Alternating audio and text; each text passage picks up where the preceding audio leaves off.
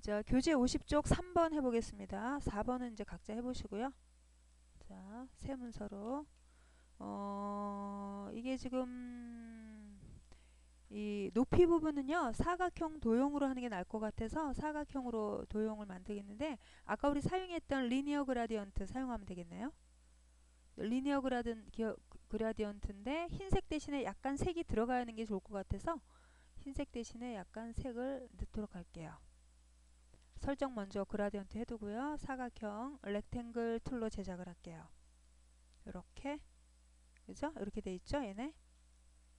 이렇게 돼 있는데 어 그게요 뭐라고 해야 되나? 약간 모양 바뀌어야 되죠? selection tool로 잡아 당기면 되죠? 그죠? selection tool로 이렇게 내려오고 이렇게 내려오면 모양이 그냥 금방 되니까 그렇게 하시고요 원형은 약간 위에서 만들어서 갖고 내려오는 게 나을 것 같아요. 그죠? 약간 위에서 만들었다가 내려오도록 할게요. 왜냐면 여기서 만들면은 또 수정하려면 또 약간 어차피 딱 들러붙긴 좀 안 된다. 요렇게 해서요. 얘도 이제 색깔 살짝 바꾸는 게 낫겠죠? 어, 살짝 살짝 색깔 좀 바꿀게요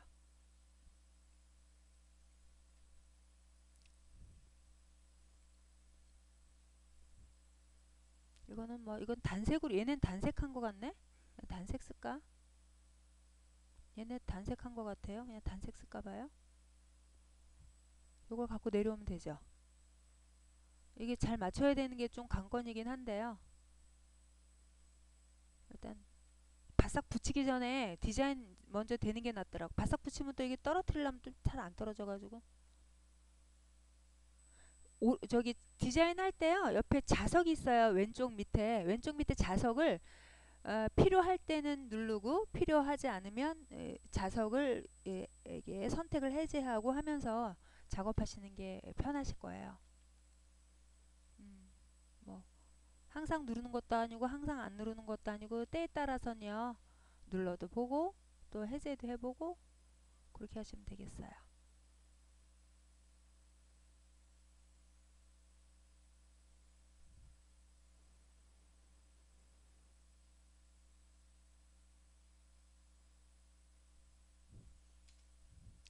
됐고요. 어, 그 다음에는 그게 필요하죠? 그라디언트 또 저기 그림자 필요하죠? 얘는 밖으로 떼놓고요. 그람, 그라저, 그림자를 여기서 만들었다가 붙이는 게 나을 것 같아요.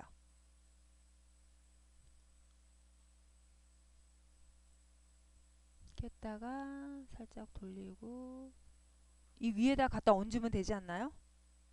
제 생각에는 이렇게 해놓고 위에다 갖다 얹으면 될 것 같은데?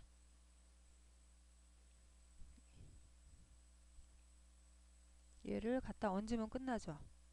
물론 한 번 얹으면 이제 수정은 안 돼 끝이야 이제 이걸로. 이렇게 하면 이제 끝이야. 그죠? 음. 네 만들었습니다